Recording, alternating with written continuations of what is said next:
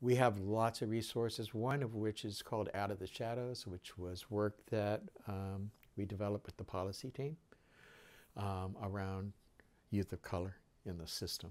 Okay. And it's been used by the legislators and cited. Mm-hmm. So it is, it's, it continues to be an impactful resource on our site for Yeah. people to take a look at. It's at the, at the fe- legisla- legislators at the At the- federal at- and absolutely. and state levels. Absolutely. Yeah. Yeah. And then um, getREAL California is, has kept going thanks to the leadership of Joe Jacobs and Family Builders, and I've been continuing to work with them always Yeah.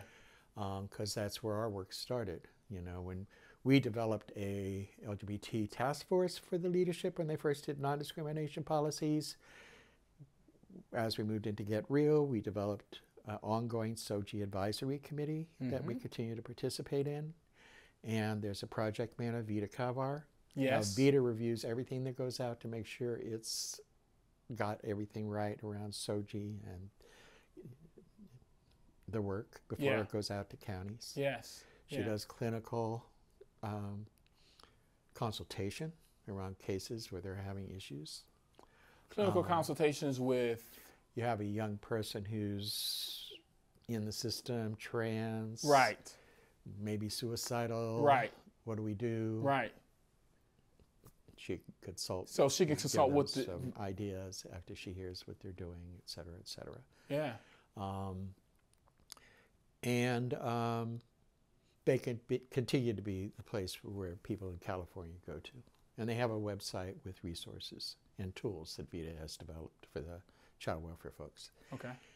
What's, what they've really developed, which I think is the groundbreaking one that we need to build up, Mhm. is called the Youth Acceptance Project. It's a clinical model to work with families Yes. who are having conflicts around SOGI issues with the young people Yes. to keep them out of the system, really. That's the work. Now they end up doing some with some cases in the system, but most of the ones they've done Yeah. are with families to keep out of the system. Yeah. They're working in seven counties in California, in Cuyahoga County, Cleveland, in um, Missouri, and two nonprofit agencies. Oh, wow. Still in Allegheny with a nonprofit there, not Yeah. the system. And um, they're going to train the Ruth Ellis Center in Detroit to use that model. Wow. So it's they're not getting as many referrals as they would like to get. They've just done an evaluation. We'll we want to push that out. We'll talk about it. Yeah. Have them do a presentation about the outcomes. But most of the families they work with are families of color. Yeah. They have excellent outcomes. The acceptance project. Youth acceptance Youth- project. youth it's acce- a clinical model that is really aligned with the family autonomy. Yes, that's what I'm thinking. That's what I'm hearing. Yeah. because it starts with the parent or parents Mhm. and the young person having bi-weekly time to talk with Mm-hmm. no judgment Yes. Humility no questioning someone's religious beliefs or anything else it's to help move people beyond the fear the anger the grief the inability to have communication that's not emotionally charged Yeah. and to move to the place where they can begin to heal Yes.